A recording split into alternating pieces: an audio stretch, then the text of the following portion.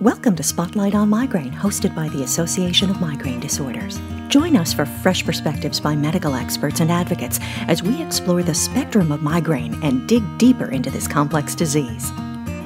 This episode is brought to you in part by our generous sponsors, Amgen and Novartis. New treatments are on the horizon. Today you will learn about Relaspen, a new self administered SPG block device for acute migraine. Though the product is still being studied, CEO and founder Dr. Jason Cook explains how this product works and how it differs from other SPG block options. Since 2015, Amgen and Novartis have been working together to develop pioneering therapies in Alzheimer's disease and migraine. Together, Amgen and Novartis share in a mission to fight migraine and the stereotypes and misconceptions surrounding this debilitating disease.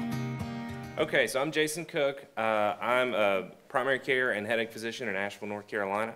Uh, and I'm also the founder and CEO of uh, a device company called Relaspen. A little bit about me. I went to med school in Alabama. You could probably tell that. Uh, did my residency in family medicine at a community-based program called MAHEC in Asheville, North Carolina.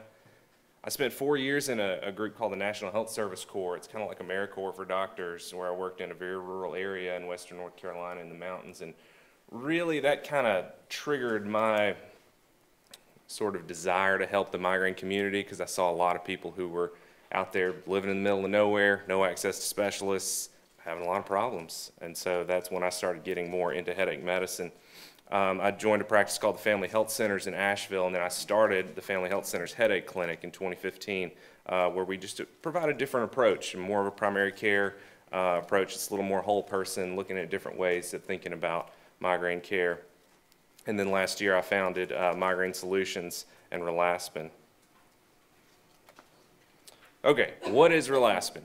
It is a portable, self-administered SPG block device. So currently an SPG block is something that has to be done in a doctor's office, scheduled way out. Um, a lot of times they work pretty well, sometimes they don't if you don't hit it quite right. Um, we're, uh, we're pursuing an indication for the treatment of acute migraine and cluster headaches. Uh, we're also doing some studies based on some case reports that we have and that we've seen in the literature on the effect of SPG blocks in the subacute, post-traumatic, and post-concussive headache syndromes. We've got some positive stuff thus far. Okay, we have not published anything yet. We are very small, we are very new.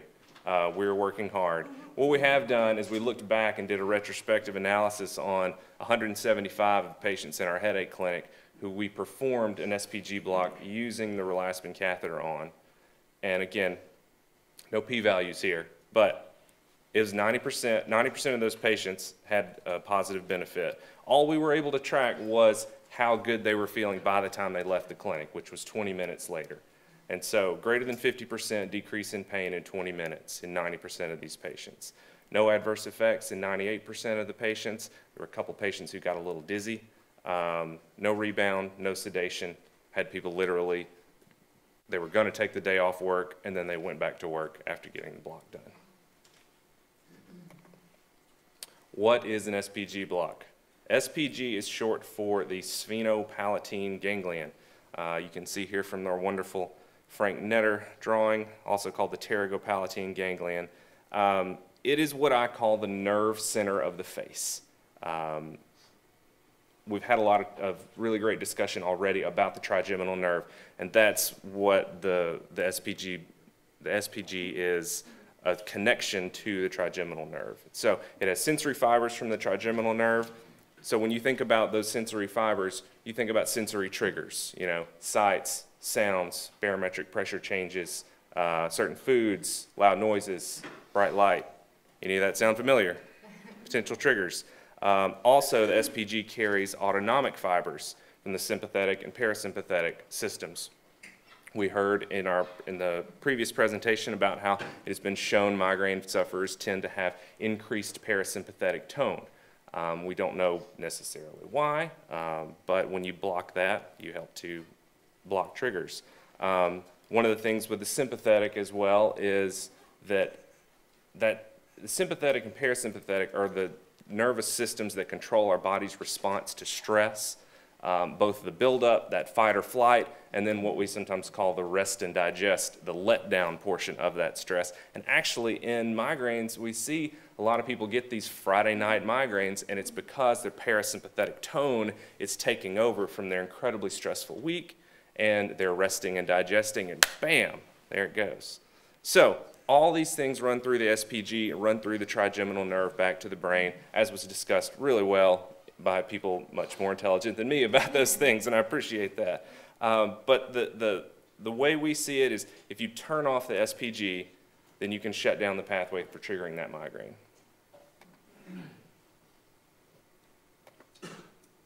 Okay, so how do you block the SPG? SPG blocks have been done for over 100 years. Um, the idea is that you bathe the SPG and the fibers around it with a local anesthetic. Now, back in 1908, when Dr. Sluder first did SPG blocks, he used cocaine. Uh, we are not quite that fun anymore. Um, we use lidocaine. Um, we, sometimes, yeah, some ENTs uh, still have cocaine solutions uh, available, but typically we use lidocaine. Um, you can see here the old school way of doing this, and this is the way I learned to do SPG blocks was um, with this cotton-tipped applicator. So you take one of those big, long-handled uh, Q-tips, soak it in lidocaine, lay back there, whoop, push it on back. It's amazing the stuff that people with migraine will do to get rid of their pain. And you know what? These work. I mean, they're uncomfortable, and it's a, it's a lot to sort of get over that idea of doing it, but they work. That's all I did for several years.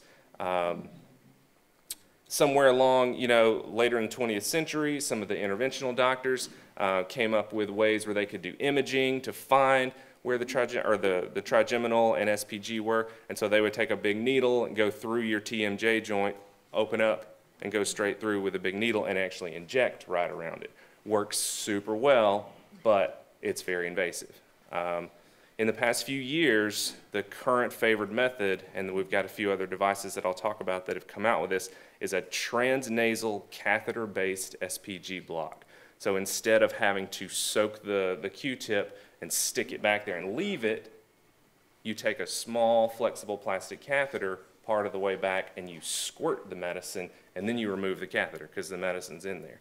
And so that's what a lot of um, you know, pain management doctors, headache specialists, neurologists that are doing SPG blocks in their offices now. They use some of these devices. Sphenocath and TX360 are two of the currently approved uh, or FDA cleared devices. These devices work really well. Um, they are kind of expensive. They are kind of cumbersome because you have to go to uh, the doctor's office pre-scheduled to do it.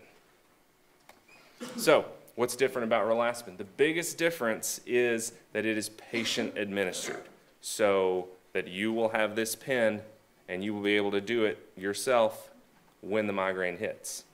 Because the big thing that I found was that that's when they work the best.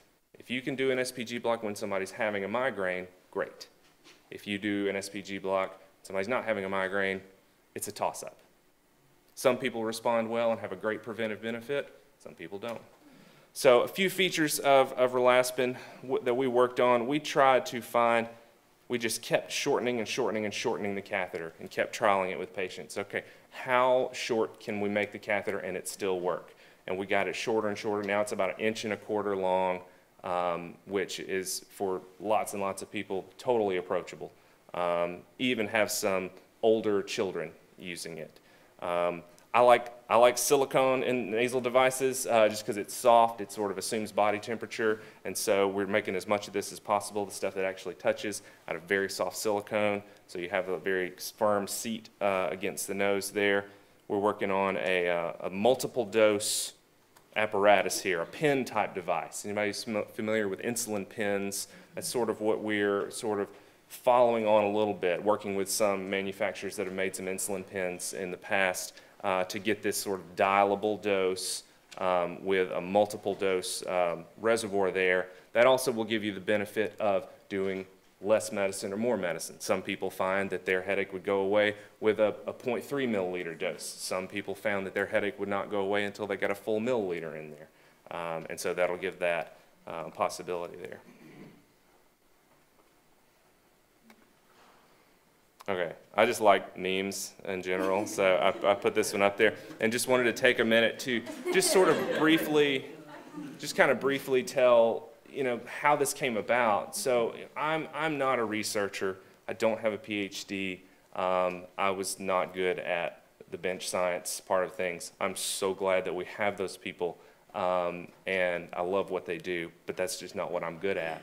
Um, I found that like I said earlier, when we were doing SPG blocks, and we did so many of them, you know, I'd be in the office four or five days a week doing SPG blocks all day because they worked. But then I would come in on Monday and my office or my inbox would be flooded with people being like, I had this terrible migraine on Saturday. Oh my God, I wish you could have been there. So that started to help me realize, well, it needs to be done at the time. So can we make it in a way that patients can do it themselves? Um, so we started working with patients on it. We said, Do you think you can do this yourself? And I had one patient who's like, Well, I'll try. And so we just started trying to figure it out, and uh, we've made a lot of a lot of headway on it. We, you know, so we're a small company. We're um, we're doing early investing right now. We're finishing up our uh, some prototyping um, on some of the delivery, and um, we're hoping to have uh, a product ready to start uh, pushing towards the FDA and trialing later this year, early next year. Thanks. Thank you for tuning into Spotlight on Migraine. For more information on migraine disease, please visit migrainedisorders.org.